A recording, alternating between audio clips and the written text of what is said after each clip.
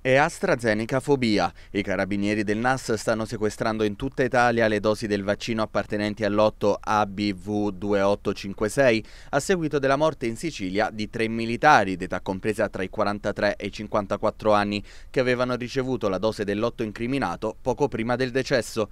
Le fatali reazioni avverse sono riconducibili a trombosi e coaguli del sangue, ma finora non è stata dimostrata alcuna correlazione tra i decessi e il vaccino. È per questo che l'EMA, l'Agenzia Europea dei Medicinali, ha affermato che si può continuare a utilizzare AstraZeneca, mentre però sono in corso indagini più approfondite. Come nel resto d'Italia, anche in Abruzzo quell'otto è stato ampiamente usato, precisamente dal 27 febbraio. Prima dall'ASL di Teramo, poi da quelle di Chieti e L'Aquila, e infine da quella di Pescara, dove a Montesilvano si procede con la vaccinazione del personale scolastico. In Abruzzo finora nessuna reazione avversa, ha detto il coordinatore regionale della campagna vaccinale Maurizio Brucchi.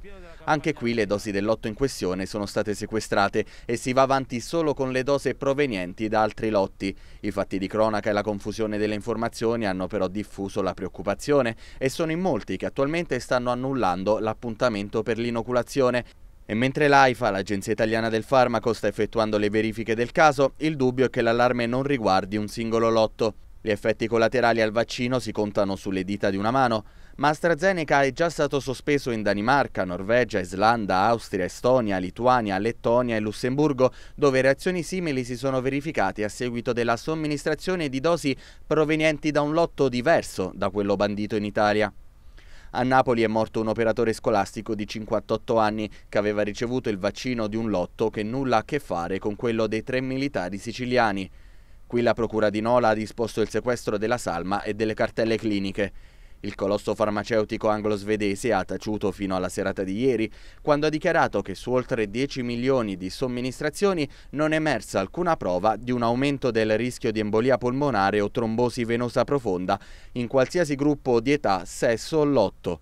Gran Bretagna, Francia e Germania non ritengono ci siano pericoli e l'Italia è dello stesso avviso. Tutti i vaccini sono efficaci e sicuri, ha detto il ministro Speranza. Quello di AstraZeneca è un vaccino a vettore virale realizzato con l'adenovirus degli scimpanzé. La percentuale di reazioni avverse importanti è davvero molto bassa se paragonata alle dosi somministrate e la correlazione tra eventi fatali e vaccino non è dimostrata. È però certo che i decessi, le indagini delle procure e la sospensione disposta da molti stati hanno quantomeno compromesso la serenità di chi va a vaccinarsi.